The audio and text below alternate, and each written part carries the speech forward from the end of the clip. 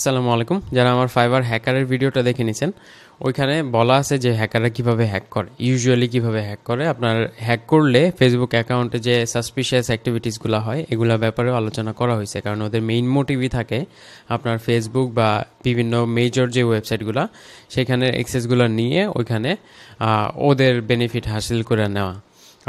এখানে একজন ভাইয়ার ওনার ফেসবুক অ্যাকাউন্ট হ্যাক হয়েছিল ফাইবারের থ্রুতে অ্যান্ড এখন ফেসবুক অ্যাকাউন্টে সাসপিশিয়াস অ্যাক্টিভিটিস হচ্ছে, বিভিন্ন অ্যাড রান হচ্ছে, যেটা উনি পজ করতেছে বা রিজেক্ট হচ্ছে, তারপরে আবার এটা অটোমেটিক্যালি রান হচ্ছে।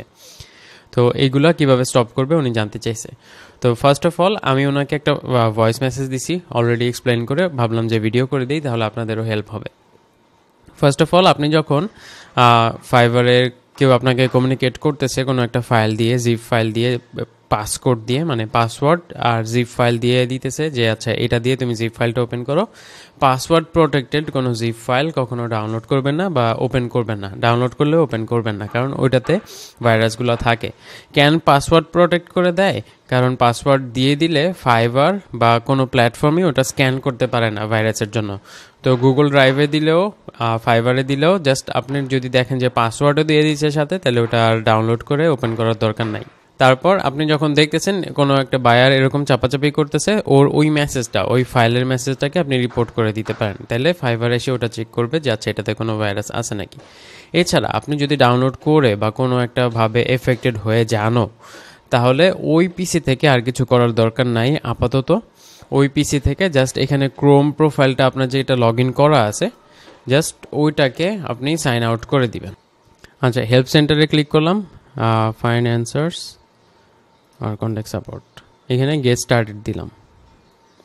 আচ্ছা। বিজনেস হেল্প ডট সাপোর্ট আচ্ছা এই লিঙ্কটা আমি দিয়ে দিব। ফেসবুক বিজনেস হেল্প সাপোর্ট এখানে যাবেন। যাওয়ার পর আপনার অ্যাডস অ্যাকাউন্টটা সিলেক্ট করবেন। এখান থেকে অ্যাডস অ্যাকাউন্টটা সিলেক্ট করবেন অ্যান্ড কোন পেজটা আপনি সিলেক্ট করতে চাচ্ছেন ওটা সিলেক্ট করবেন। ধরেন আমি আমার অ্যাড অ্যাকাউন্টটা সিলেক্ট করলাম। মানে কোন অ্যাড অ্যাকাউন্টের আন্ডার ইস্যুটা হচ্ছে।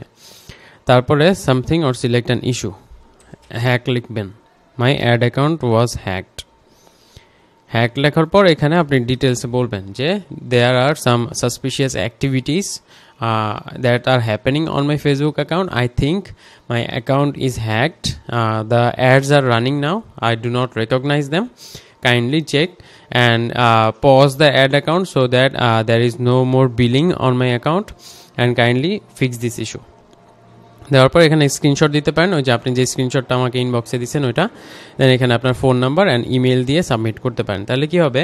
ফেসবুক থেকে হয়তো আপনাকে ইমেলে রিপ্লাই দিবে বা আপনাকে ডাইরেক্টলি কল দিয়ে জিজ্ঞেস করবে যে কি কি হয়েছে বলো।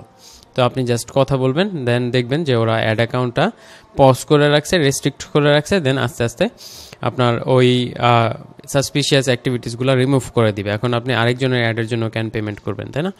তো এই জিনিসগুলো খেয়াল রাখেন অ্যান্ড আমি এই লিঙ্কটা দিয়ে দিচ্ছি ডিসক্রিপশনে আপনি চাইলে এটা ইউটিলাইজ করে সাপোর্টে টিকিট সাবমিট করতে পারবেন অ্যান্ড দেন ওরা আপনাকে বাকিটা হেল্প করবে। তো ওভারঅল এতটুকু ছিল এই ভিডিওতে কারও যদি আর কোনো ইস্যু হয়ে থাকে জাস্ট কাইন্ডলি আমাকে জানাবেন কমেন্টে বেস্ট অফ লাক আল্লাহ হাফেজ।